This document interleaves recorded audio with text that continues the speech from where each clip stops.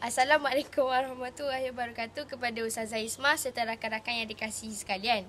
Syukur kehadrat ilahi kerana dengan limpah kurnianya dapat saya uh, berjumpa dengan Ustazah dan rakan-rakan uh, untuk menyampaikan uh, sebuah pidato tentang adab menjaga fitrah antara sesama uh, lelaki dan perempuan. Uh, hadirin sekalian, hablum minallah hablum minannas iaitu jaga hubungan dengan Allah serta sesama manusia.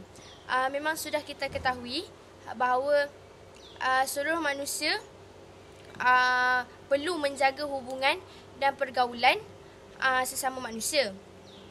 Namun dia tak semudah tu untuk me, uh, untuk bergaul sama ada uh, sesama lelaki atau sesama perempuan atau berlainan. Uh, seperti mana yang kita ketahui bahawa seorang uh, seseorang manusia tidak boleh uh, hidup ta- uh, berseorangan dan dia memerlukan seorang teman juga ataupun pasangan. Uh, malah Nabi Adam uh, uh, memerlukan seorang teman di syurga iaitu Hawa walaupun dikurniakan uh, rezeki yang melimpah ruah. Uh, oleh itu, kita digalakkan untuk saling mengenali antara satu sama lain. Um, hari ini bertepatan dengan firman Allah Subhanahu Wa Taala di dalam surah Al-Hujurat ayat ke-13. Uh, Wahai umat manusia, sesungguhnya kami telah menciptakan kamu daripada seorang lelaki dan seorang perempuan. Kemudian kami jadikan kamu berbangsa-bangsa dan bersuku-suku uh, agar kamu saling mengenali. Sesungguhnya yang paling mulia antara kamu uh, adalah uh, uh, yang paling mulia antara kamu di sisi Allah uh, adalah seorang yang orang yang bertakwa. Sesungguhnya Allah Maha mengetahui dan Maha meneliti. Um, namun begitu, uh, kita sekarang telah dilahirkan sebagai umat akhir zaman iaitu uh, satu zaman yang uh, paling banyak dugaan dalam menempuh perjalanan hidup sebagai seorang khalifah Allah uh, pergaulan kita sesama manusia ada batasannya sebagaimana yang telah digariskan dalam syariat Islam. Pandangan yang diberi oleh Dr. Yusuf Al-Qaradawi uh, dalam uh, fatwa Muashirah jilid 2 iaitu menyatakan pada prinsipnya perhubungan uh, di antara lelaki dan perempuan uh, uh, tidaklah ditolak secara total. Uh, malah dibolehkan dalam uh, mana ia diboleh dibolehkan selagi mana ia bermatlamatkan kebaikan uh, dan atas atas perkara yang dibenarkan syarak uh, dan wajib patuhi kehendak dan ajaran Islam serta prihatin terhadap akhlak dan adab.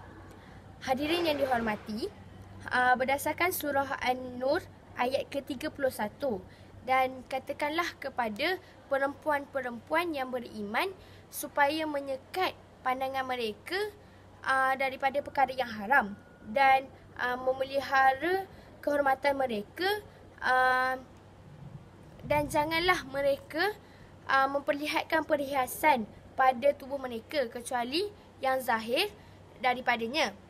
Uh, dan hendaklah mereka menutup belahan bajunya dengan tudung kepala mereka. Dan janganlah mereka memperlihatkan uh, perhiasan tubuh mereka melainkan kepada suami mereka atau bapa, mereka uh, atau bapa mertua mereka uh, serta anak-anak mereka atau anak-anak tiri mereka atau saudara-saudara mereka.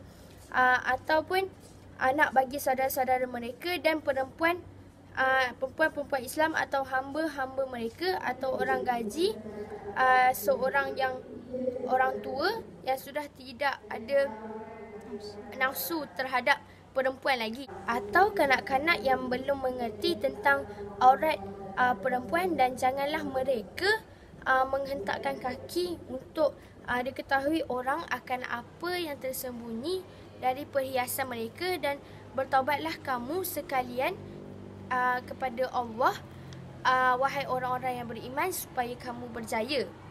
Uh, sesungguhnya aurat adalah satu perkara yang penting sewaktu kita bergaul sesama manusia.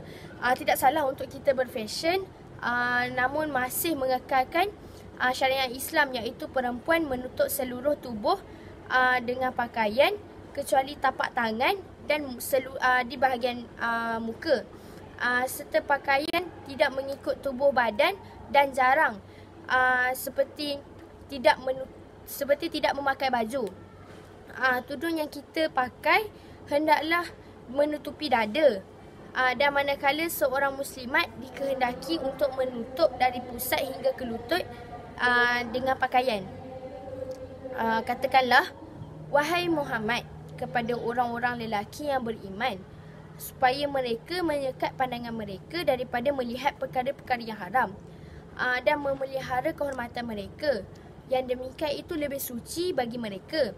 Uh, sesungguhnya Allah amat men mendalam amat amat dalam pengetahuannya uh, tentang apa yang mereka kerjakan. Uh, surah An-Nur ayat ke-30.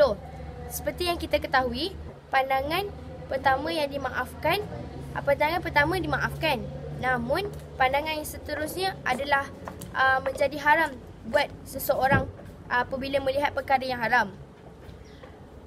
Jangan pernah kita berdua-duaan dengan lelaki dan perempuan ajnabi kerana ia akan mengundang fitnah ataupun hasutan syaitan yang yang menyebabkan kita melakukan perkara yang maksiat.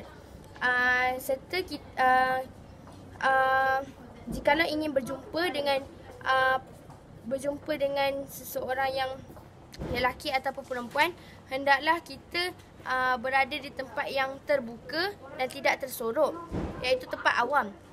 Hal ini adalah untuk uh, mengelakkan timbulnya fitnah.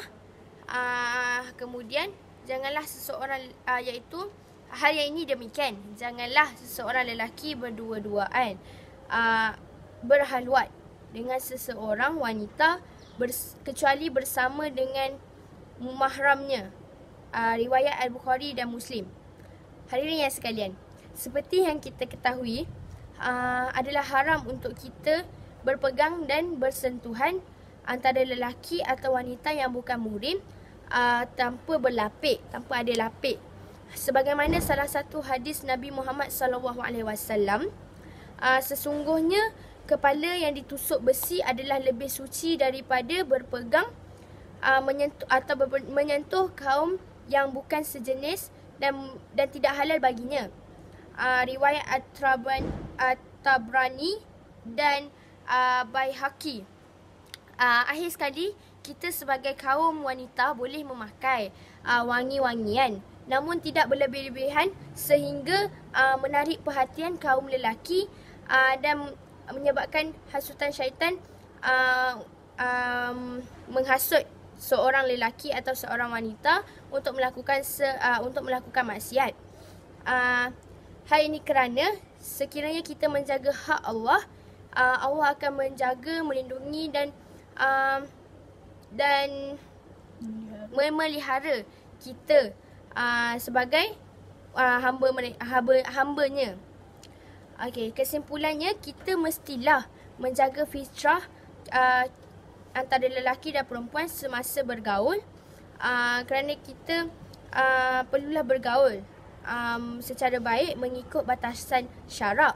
Uh, ikhtilat yang haram untuk kita seperti berpegang, berdating atau berkapel uh, ataupun bersentuh, uh, bersentuhan wajib kita uh, jauhi.